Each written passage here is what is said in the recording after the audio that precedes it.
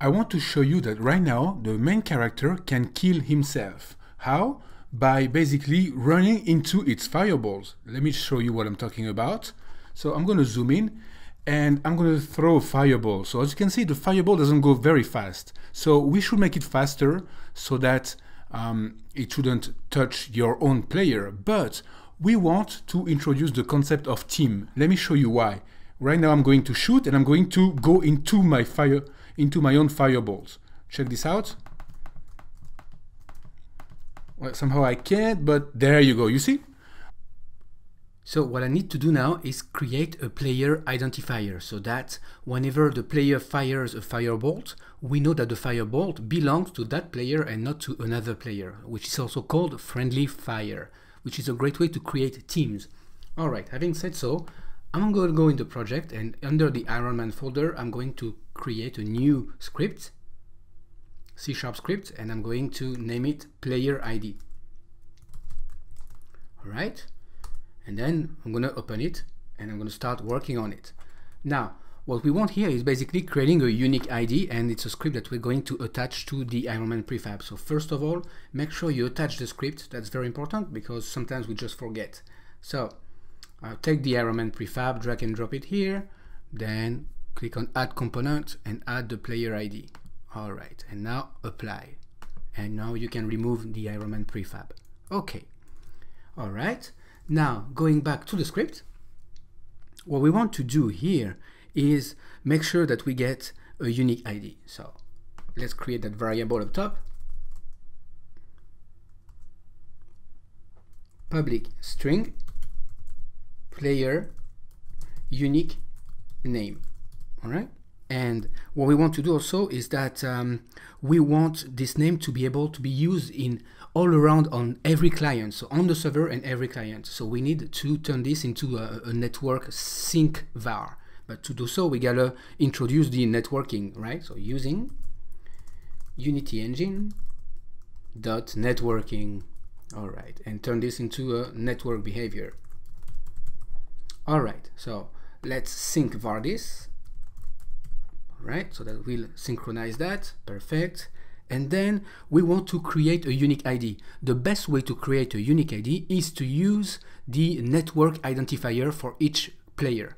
Um, each player have a unique identifier that's for the server so that the server can see who is which character, right?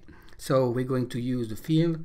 It's called uh, it's called a network instance. So private network instance ID and let's call it player net ID because it's for the internet. All right for the network all right and uh, then we, we want to initialize this.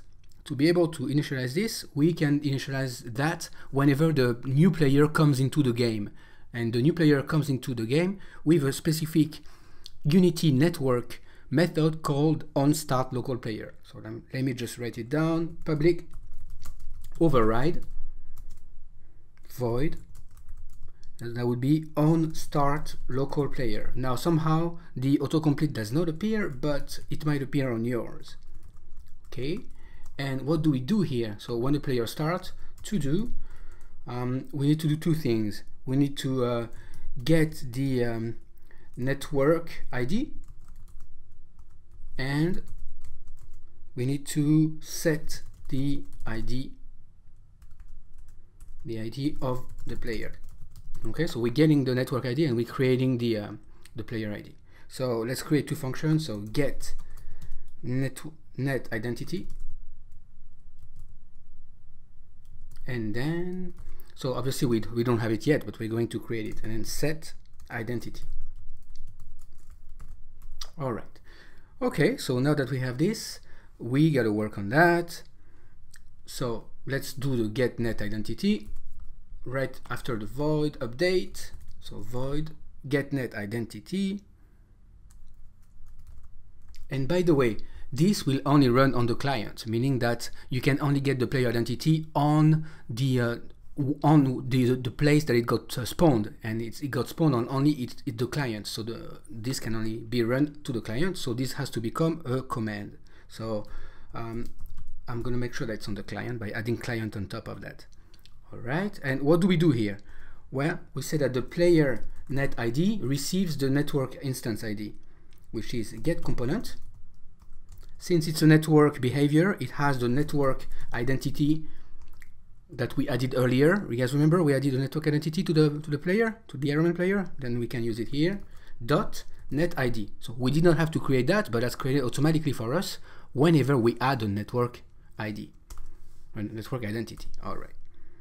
Now we're going to um, what we got to say now. Once we have the uh, identity, we need to make sure that every client. So we need to send it to the server so that all the other clients get it.